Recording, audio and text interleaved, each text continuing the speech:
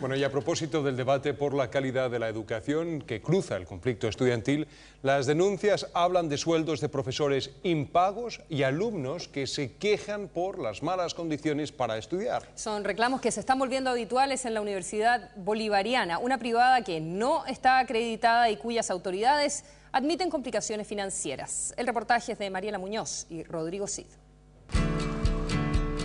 Profesores que denuncian el no pago de sus sueldos. Se atrasan mucho en, pago, pero no sé, dos meses, dos meses y medio. Alumnos que reclaman por las malas condiciones de infraestructura. Tenemos pianos que son de juguete.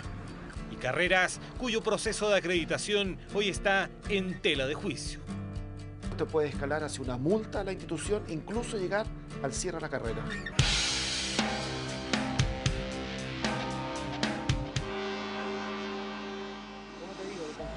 Alejandro Malde es un profesor de música de origen cubano. Hasta hace muy poco impartía clases en la Universidad Bolivariana, pero decidió renunciar, aburrido por la falta de pago de sus remuneraciones. Y uno no, no tiene a quién acudir porque en el fondo uno llama por teléfono o pones un mail, nadie te responde el mail. Entonces te explican, eh, cuando lo explican que tienen alguna dificultad de, flujo de caja, qué sé yo, cosas que yo no manejo, pero lo concreto es que no te pagan el salario. Este docente vive en Mayoco, a unos 40 kilómetros de Santiago, y cuenta que muchas veces tuvo que faltar a clases porque no tenía dinero para la locomoción. A mí me deben de sueldo eh, medio mes de agosto y septiembre, o sea, un, sueldo y medio, porque el sueldo anterior lo pagaron en dos partes porque no tenían más dinero. La Universidad Bolivariana reconoce que no pasa por un buen momento financiero. El vicerrector de Asuntos Económicos asegura que se trata de un problema de arrastre que viene de administraciones anteriores. La universidad tiene ciertas complicaciones financieras que no nos han permitido eh, solucionar algunos aspectos fundamentalmente con respecto al pago de profesores pero eh, no es tan grave. La universidad también presenta una serie de falencias que repercuten directamente en la calidad de la enseñanza. Es lo que ocurre en la escuela de música, donde el arancel anual supera el millón ochocientos mil pesos. A veces no hay un transformador o que qué sé yo. Pero hay, o sea, hay problemas que de repente, por ejemplo, han cortado la corriente en la universidad porque no han pagado la, corriente. Los alumnos de música se quejan por la falta de instrumentos adecuados y también por las malas condiciones de infraestructura, algo que se repite en otras carreras. Los platillos, los platos malos, la, sala de ensayo con cajas de huevo, que eso uno lo hace cuando en la calle, no sé, una infraestructura tan grande de la universidad, además, no, no tiene recursos para eso.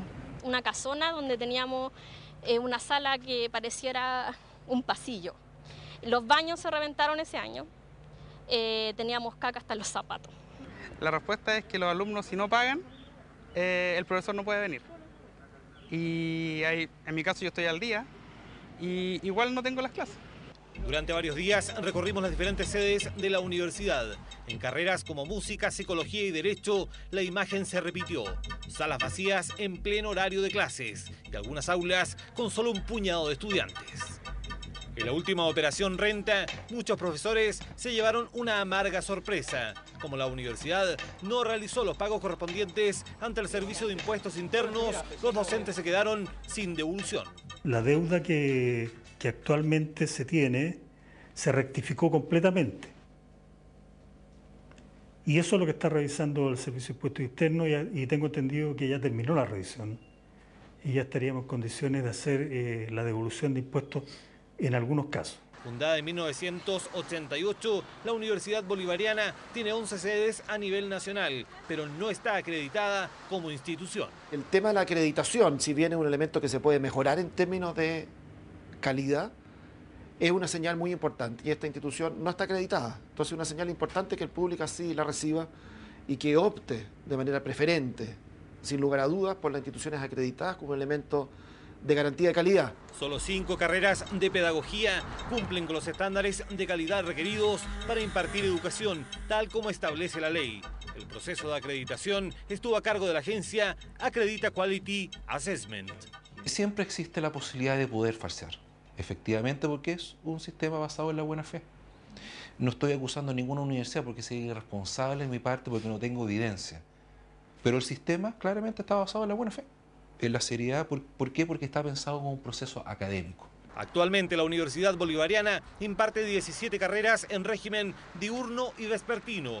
La institución reconoce una deuda de 300 millones de pesos con el sistema financiero. El ingreso total de la universidad son cercanos a los 5 mil millones. Entonces, si uno presenta una, una empresa con un endeudamiento tan bajo, bajo ningún punto de vista no es viable. Hasta la fecha no se ha presentado ninguna denuncia formal en contra de la Universidad Bolivariana. Por lo tanto, recibimos con mucha atención la denuncia que ustedes portan en términos de el mal servicio que están recibiendo los estudiantes, principal foco de atención del Ministerio y más aún tratándose de carrera de las pedagogías, que es la prioridad de la política pública. Las denuncias formuladas por alumnos y docentes podrían tener graves consecuencias para la universidad. Quizás por eso el rector Ricardo Medina, quien rechazó conceder una entrevista, le mandó una carta a los profesores. Texto donde asegura estar convencido de que el próximo será el año del definitivo despegue y que espera que ningún evento malintencionado los aparte de ese logro. Medina llamó a distribuir la información antes de que este reportaje sea emitido. Si existe evidencia que constantemente se, cae, en faltas académicas, por ejemplo, bajísimas tasas de titulación, altísimas tasas de reprobación, alta rotación de autoridades, no pago de profesores, claramente esa carrera no es viable. Son los problemas de la Universidad Bolivariana, que se define a sí misma como una casa de estudios con sensibilidad a escala humana, pero que atraviesa por una serie de problemas académicos y financieros y que pone en tela de juicio la real calidad de la enseñanza que se imparte en sus aulas.